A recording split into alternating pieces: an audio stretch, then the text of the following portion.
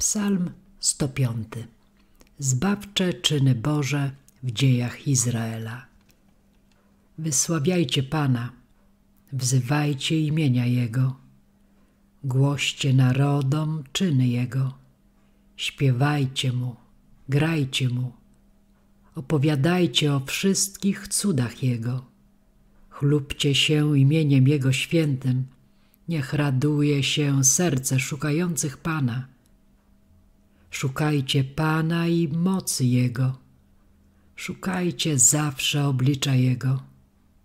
Pamiętajcie o cudach, które uczynił, o znakach i wyrokach ust Jego. Wy, potomkowie Abrahama, sługi Jego, synowie Jakuba, wybrańcy Jego. On jest Panem, Bogiem waszym, prawa Jego na całej ziemi. Pamięta wiecznie o przymierzu swoim, o słowie, które dał tysiącznym pokoleniom, o przymierzu, które zawarł z Abrahamem i o przysiędze swej dla Izaaka. Ustanowił je dla Jakuba jako prawo, dla Izraela jako przymierze wieczne, mówiąc: Tobie dam ziemię Kanaan, dziedziczne wasze posiadanie. Gdy było ich jeszcze niewielu, nieliczni i obcy w niej, wędrowali wtedy od narodu do narodu, z jednego królestwa do innego ludu.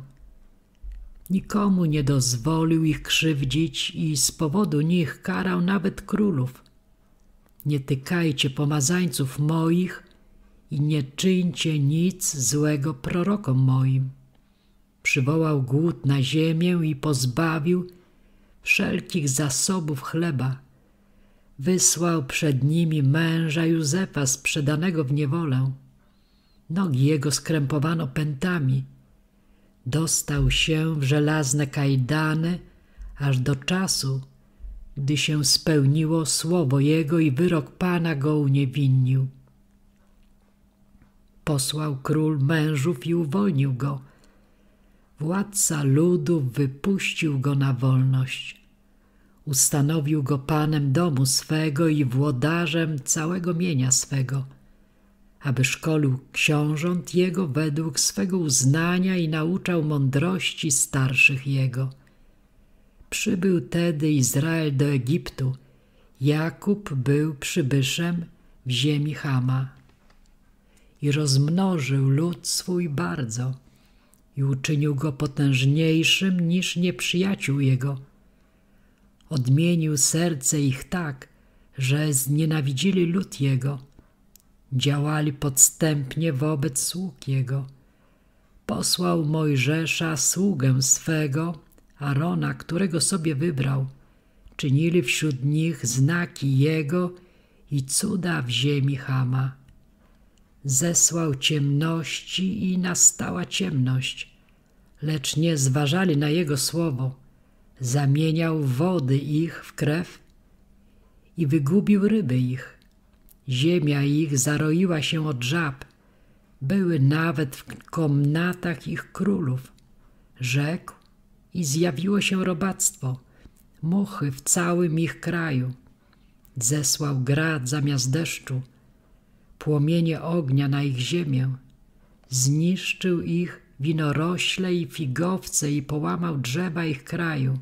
Rzekł i spadła szarańcza i niezliczone mnóstwo chrząszczy i pożarły one wszelką zieleń w ich ziemi i zjadły plon ich roli.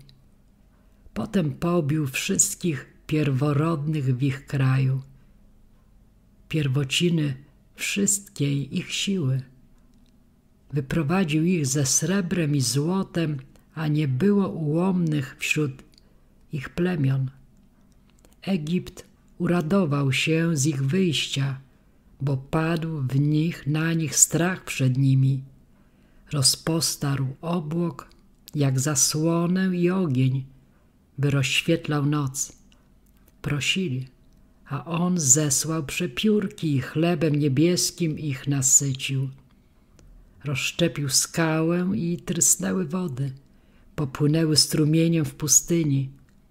Wspomniał bowiem na słowo swoje święte, na Abrahama, sługę swego, i wyprowadził lud swój wśród wesela, wśród radosnych śpiewów wybrańców swoich.